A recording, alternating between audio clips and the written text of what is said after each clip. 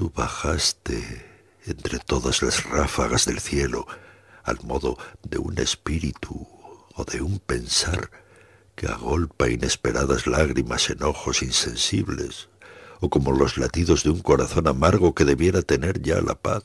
Descendiste en cuna de borrascas. Así tú despertabas.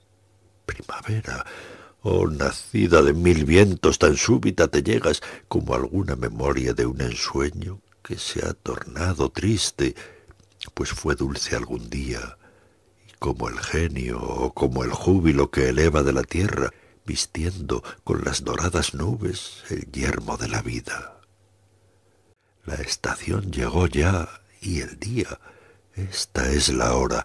Has de venirte cuando sale el sol, dulce hermana. Llega al fin deseada tanto tiempo y remisa.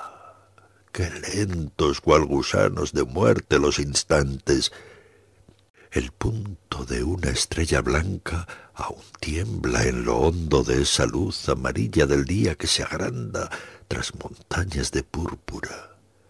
A través de una cima de la niebla que el viento divide, el lago oscuro la refleja, se apaga. Ya vuelve a rutilar al desvaírse el agua mientras hebras ardientes de las tejidas nubes arranca el aire pálido. Se pierde y en los picos de nieve como nubes, la luz del sol rosada ya tiembla. No se oye la eólica música de sus plumas de un verde marino abanicando al alba carmesí.